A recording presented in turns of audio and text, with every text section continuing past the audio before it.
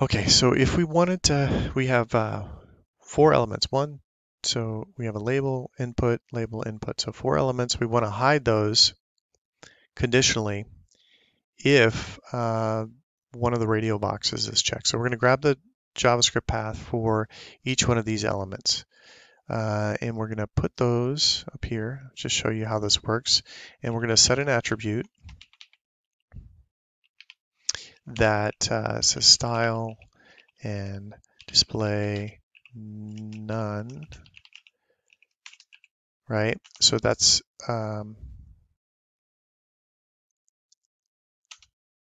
that's how we would hide the each element. So we grab that one, and we'd click on this one, same process, copy JS path, go over here, clear, uh, paste that one, dot set attribute, and same thing, style, uh, display none. All right, so this that's how we're going to go through and hide that stuff. So I've gone ahead and I've copied the uh, those different ones here. So this is the label, input, label, input, right? And the next thing we need to do is figure out how to trigger our conditional logic, right?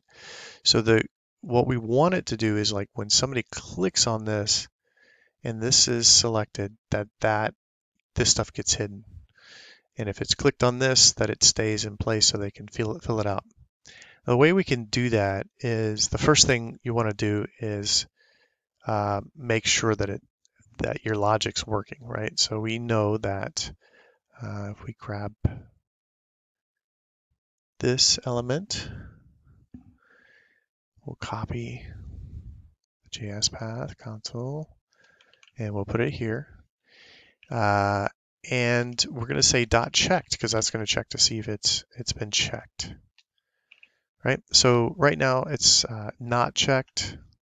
If I hit enter, you see it says false for not checked. So if I click on no, now it is checked, and you can see it it shows true. So well, that's easy enough. So what we're going to do is we're going to say um, if this is our conditional logic test. So we're going to say if document.query selector checked, and we got to get rid of that inside of our conditional and we're going to say uh, I want a console.log uh, checked uh, else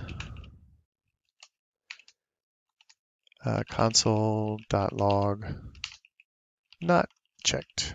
Okay, so this is going to just check that uh, for us. So right now it says checked. And if I click this right here and I just run that again, now it says not checked. And then if I do it again, it's checked, right? All right, so cool. So we have our conditional logic check and, um, and that's working just fine, right? But what we need it to do is we need it to, it's not going to work just yet because we need to turn this into a function so that on click, right? So when somebody actually changes this, they actually click the no, that that function is then fired. So the way we can do that is, um, and I've already done it over here. So we're going to create function conditional hide input, right? So this is, and this is saying if that element is checked. So if it is true, then I want you to find this element and I want you to display none and I want you to find this element, display none. I want you to find this element and display none and the same for this element and display none. Else console log not checked, right? So we'll add this function to our page. So what I'm going to do here is I'm going to refresh. And what I'm going to do is just put this function in place. I'm going to hit enter. So it's going to say undefined because now this function is just sitting out there, but we haven't actually called the function. So if I call the function, and if I add this, uh, and I hit enter, well, now it just went through and it sees that this is not checked. And we know that if it's not checked, we don't want it to do anything, right? So we, we click on this yes button, we should also get the same thing, conditional hide input. We're going to run that function again. And again, it says not checked. So we're good to go there. But now let's check the box and see if it's working. So we'll call it again and there it's working fine. So it says, it gives us the console log that says it was checked and now it's gone. So the uh, the next thing that we need to do is if somebody were then to click on yes, right, we need to create a separate function that would then, if they click on yes, that would make sure that the uh, uh, attributes are, um, you know, that it's not hidden. So we remove those attributes. So what we'll do is we'll create um, a conditional unhide, this one here. Hang on, I need to, so I have remove attribute, remove attribute, remove attribute, remove attribute, and then we'll set this uh, in motion. So we'll hit this.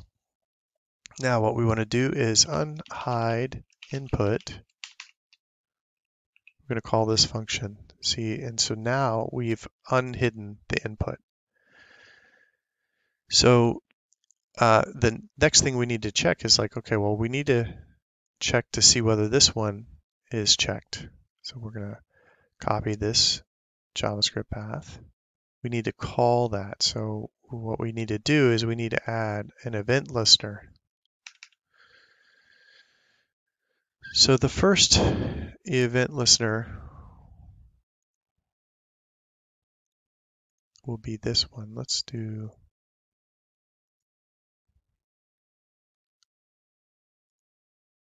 so we'll set we're going to set this uh, dot add event listener and we're going to call uh, call it's going to be change. So if somebody changes this and we'll run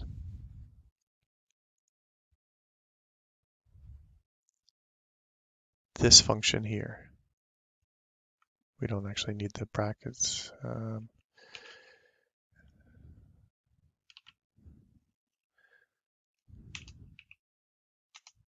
okay So what I've done now is I've I've assigned uh, an event listener to this. So when I click on this, it's going to run our function and remove those two uh, those fields, four fields, I should say. So we now we have our event listener uh, for that. And now we need an event listener for the yes button. So we'll say the same thing. We're gonna so copy this.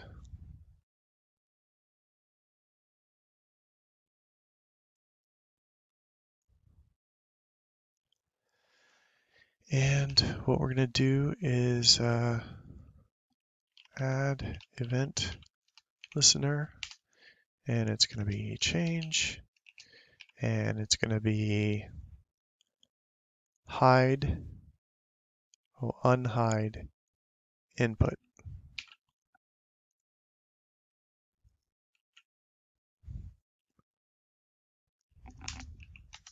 All right, so now we click on this and it brings back our input.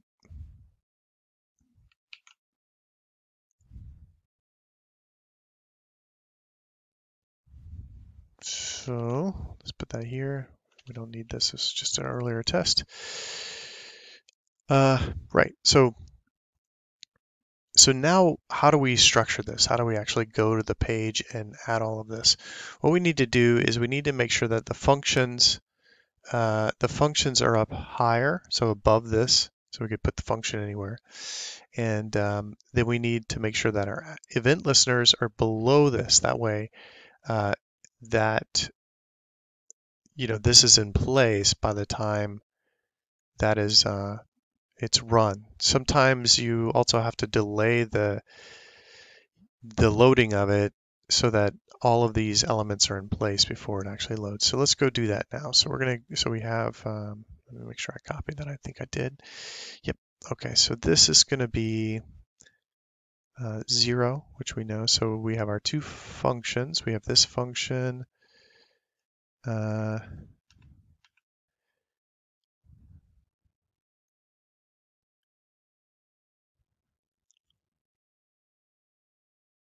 and this function here. And I'm going to log in. Bear with me.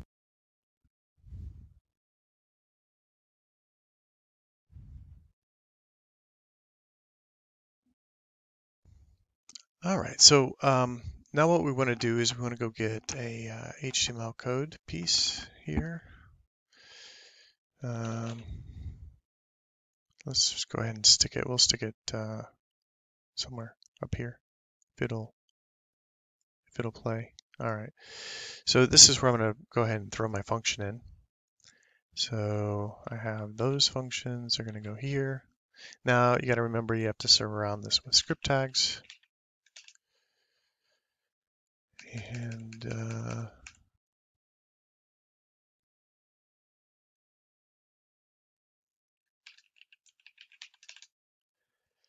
okay, so now our functions are in place. Now what we need to do is uh, add our on change events, uh, which will be this one.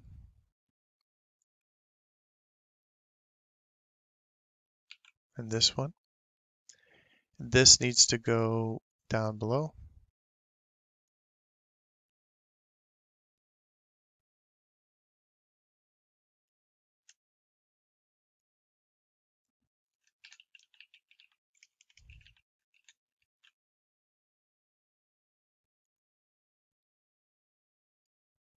All right, and now we want to check that.